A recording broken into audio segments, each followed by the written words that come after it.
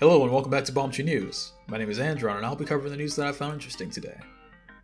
Doom for the Nintendo Switch officially got a release date today of November 10th. To accompany this announcement was a video interview from id Software to speak about the latest port of their return to form. The interview wasn't exactly the most exciting you'd see, but when they got to the nitty gritty, we got a grasp exactly how it will look and play on the Switch. From the footage shown, it does look like textures further away are a bit blurrier than on its more powerful brethren, but the basic feel of wrecking demons is still there.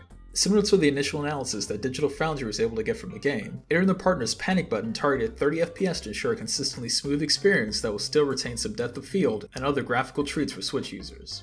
When asked about future games coming to the Switch, the duo didn't mention anything new but did speak briefly about Skyrim and Wolfenstein 2, which we already knew about.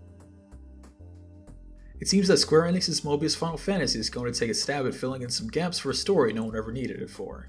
In support for the upcoming crossover for the game, the publishers revealed a brand new tie-in event that will explain what happened to Tidus between the events of Final Fantasy X and the beginning of X-2. The clip currently playing is a Japanese reveal of the crossover, and while I'm always down for seeing Tidus in any form, filling in gaps that don't need filling can often ruin an otherwise great character's backstory.